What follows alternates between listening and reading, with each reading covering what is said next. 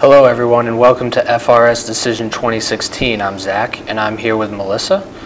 This is the first of a series of interviews we'll be conducting from local leaders to hear what they have to say about political culture uh, during this critical uh, election season. On election day, we will be holding a three-hour live broadcast starting at 5 p.m.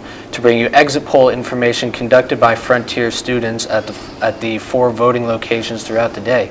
Among our guests on Election Day will be Senate President Stan Rosenberg. And to kick off today, we are here with Trevor McDaniel. He is a uh, selectman for the town of Deerfield. Trevor, thank you for being here. Thank you for inviting me. Uh, so, just to jump in right away, uh, question uh, regarding question four: What will the uh, the casinos propose have? Uh, what effect will they have on our local economies? A bit of a double-edged sword, I think. Um, it's great to see economic development. I work in, out of Springfield, and I cover a lot of the territory, a lot of Western Mass for where I'm for my job, and I see a, a, huge benefit to the construction that's going on. A lot of uh, union workers have got jobs, and a lot of construction and contractors, and um, it's good to see that. And I think that'll trickle out to a lot of the uh, home builders that are going to need to build homes and remodel homes for people that are coming to get jobs. So in my industry, it's it's it's a good thing. Um, but it also, uh, you know, again, double-edged sword. It, it, casinos have not not always proven to be a great form of income. Um, you know, we, we have concern about who goes and how often they go. It'll be nice to have some entertainment and shows and dining and um, a place to go out, but it can also be a very addictive uh, thing for people to do. So um, I worry about the people who do have an addictive personality to gambling, and um, and some people should not be gambling. They don't have the money to gamble, and um, so I, I hope we have programs there to help those in need. Do you think the particular community that a casino would be in would be negatively impacted uh, yes, I think, well, traffic certainly, um, crime is always a concern. Um, it all depends on the planning, and I think if, if it's done well um, and, and money has been put into infrastructure as far as um, police, security, um, fire, um, and, and, uh, and other parts of town that would, would need to handle all that traffic and all those people coming in to keep order, I think I think it can have a good, a good, outpa- uh, a good uh, impact on the community.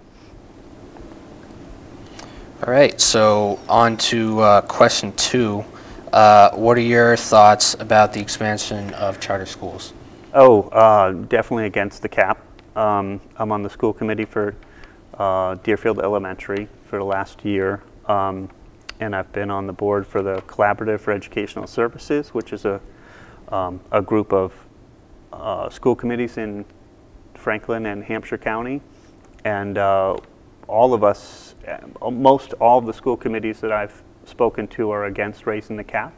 Um, I think it's it's great to have some mix of um, other alternative schools to go to for, for people who don't fit in at your normal public school, but um, I think we're saturated in this market, and I don't think we need any more. They're pulling a ton of money away from public education. Uh, I'm not so much against charter schools, I'm, I'm against the way they're funded. Um, and it's just been a huge, a huge impact on our, our public schools. From a public school, that's a very satisfying answer. um,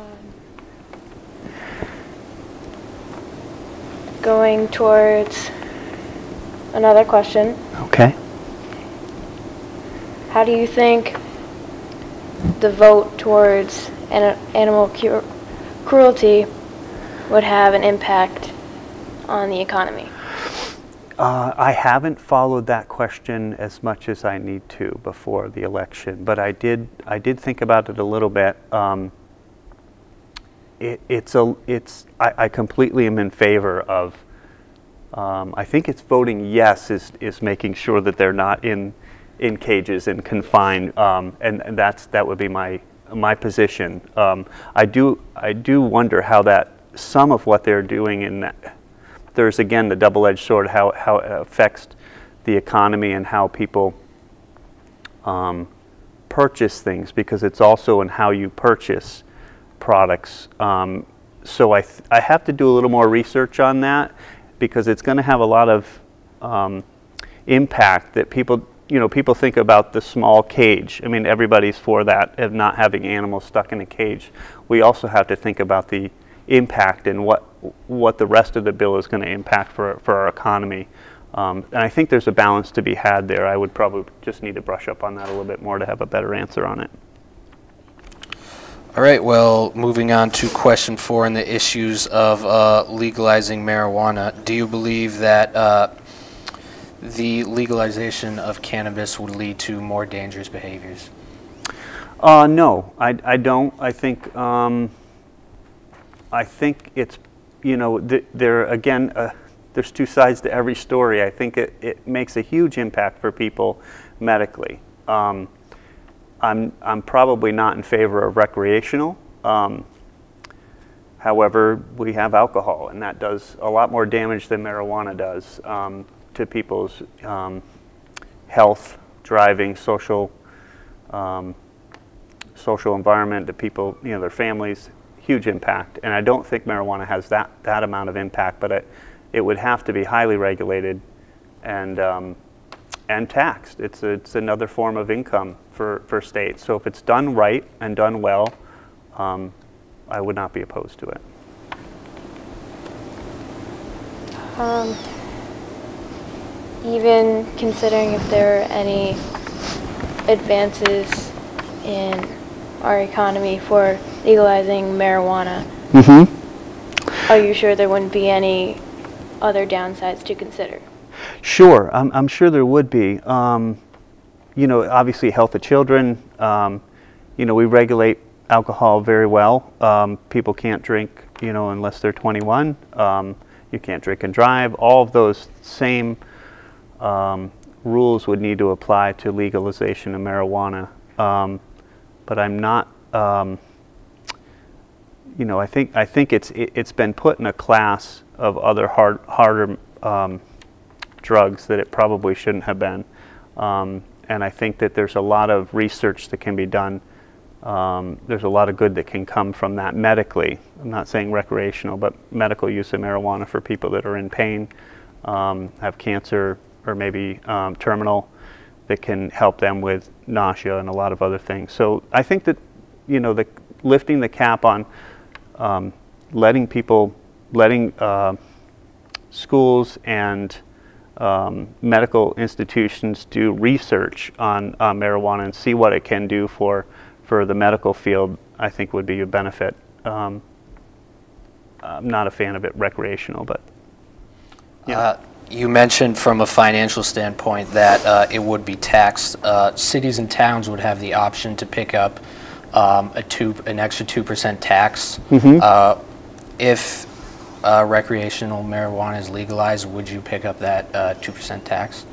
Yes. Yeah. I mean, I, again, I think I think there's ways that it that it can benefit towns, but you, again, everything has a has a double-edged sword. I think you have to you have to do it smart, and you you can't just um, you have to make sure people are uh, doing it wisely. And um, again, me for more for medical use. Um, I do I do believe the tax benefits will help will help cities and towns. I mean, we're really tight in our budgets, so um, we we do have a marijuana plant coming into Deerfield, so we'll be you know if it becomes recreational, we'll have to look at that and see where we can we can get some tax money out of it. Out of the aforementioned issues, which would you feel is the most important? Um, the casinos was, was very important. It's, it was, it's been very, um,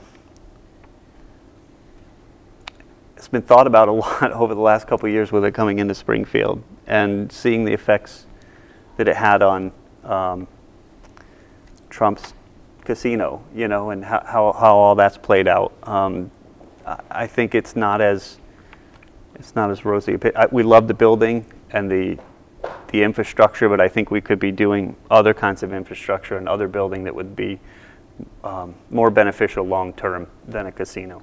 So I, I worry too much about the negative impacts on society and the cost down the road for that than I do uh, the benefits of, of the short-term building.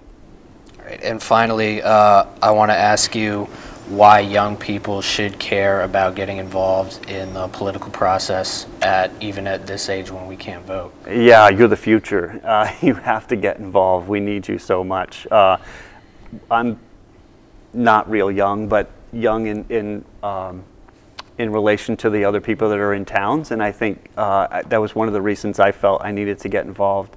Um, I'm 45, and and I felt it was time for my generation to step up and, and get involved in local town politics because. Um, we need to learn from our elders uh, who've been doing it a long time and, and, and then also bring some new, fresh ideas. There's so much impact in the world um, on your generation. It, it, it's, it's your generation that are going to be dealing with all these issues. And if we don't have um, an informed and involved citizen um, involved in town government, you know, local government, state, national government, we're in, we're in a world of hurt. We need you really bad. Thank you so much for joining us. Thank you very much. Just a reminder again, we will be going live on Election Day starting at 5 p.m. with more coverage of the uh, exit polls from the four towns of the debates. So please join us then. Thank you and have a good night.